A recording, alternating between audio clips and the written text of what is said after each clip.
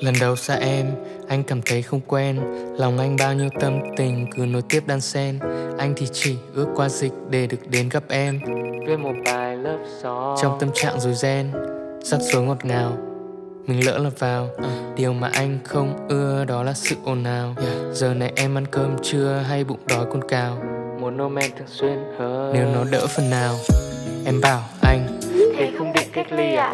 Sao không ngồi FaceTime uống với em một ly trà Anh trả lời như thế này, không quen. Anh có thể cách ly cả thế giới chứ không thể cách ly em. Yeah yeah yeah yeah yeah yeah Không thể nào cách ly khỏi em.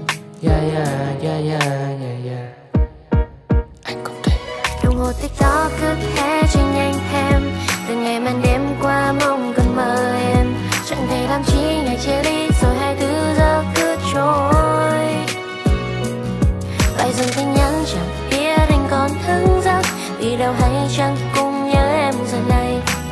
Mong ngày trôi thật nhanh nhá cho dù ta chẳng muốn cách xa.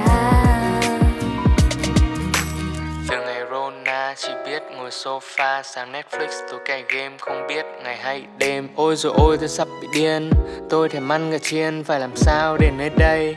Trời thì trốn thần tiên Nhớ ánh mắt, nhớ đôi môi, nhớ nụ cười của em này Nhớ luôn cả những quán cà phê hãy cùng em ngồi, em ơi em ơi. I wanna quarantine with you. Anh chỉ mong một ngày đẹp trời em đến và nói yes me too. Anh biết, anh biết ta chỉ tạm xa nhau thôi. Em ơi nhớ rửa tay, đeo khẩu trang. Không xin mời em lên phường. Hãy tuân thủ và giữ ý thức như một người bình thường. Vào những ngày này ta không nên ra đường. Yeah yeah yeah yeah yeah yeah. Không thể cách ly khỏi em.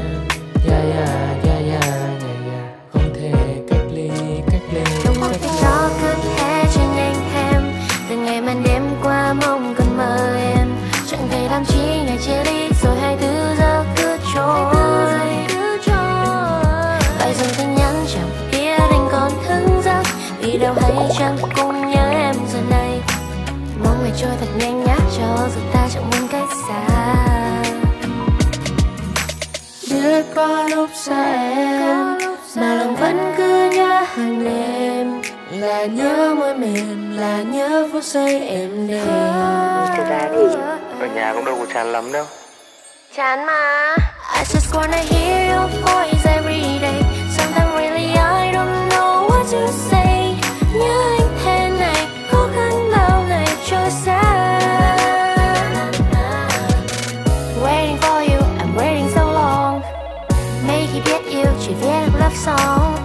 ngày trôi thật nhanh nhé, cho dù ta chẳng muốn cách xa. Mỗi hồ đó cứ thế chuyển nhanh thêm Chỉ còn màn đêm mong qua cơn mơ em. Chẳng để làm chi ngày chia ly Giờ 24 giờ cứ trôi.